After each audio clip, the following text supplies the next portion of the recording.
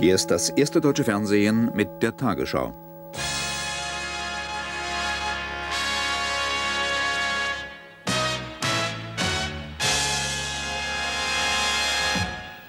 Die unabhängige polnische Gewerkschaft Solidarität darf nach sieben Jahren im Untergrund wieder legal arbeiten. Ein Warschauer Gericht machte heute amtlich, was Regierung und Opposition vor zwei Wochen bei den Gesprächen am runden Tisch vereinbart hatten. Sie ist wieder da, offiziell und legal. Die unabhängige polnische Gewerkschaft Solidarität.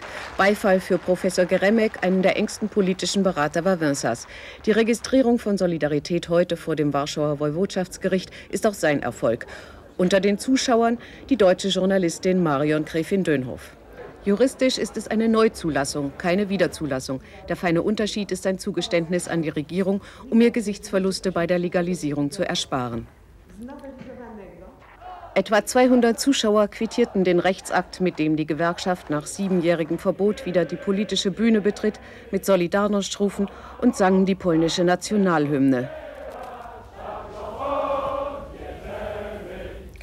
Auf einer Pressekonferenz verlas der Sprecher der Gewerkschaft eine Erklärung Lech Wałęsas, der selbst zum Gerichtstermin nicht erschienen war.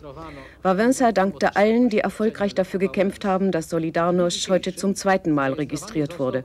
Er forderte alle Mitglieder und Sympathisanten auf, schnell an die Arbeit zu gehen und den bevorstehenden Wahlkampf zu organisieren. Nach sieben Jahren Untergrundarbeit steht Solidarność die Bewährungsprobe in den Betrieben allerdings noch bevor. Wie viele Millionen sie hinter sich bringt, wagte heute niemand zu schätzen. Zwei 18-jährige Lehrlinge aus der DDR haben heute versucht, durch die Spree nach West-Berlin zu flüchten.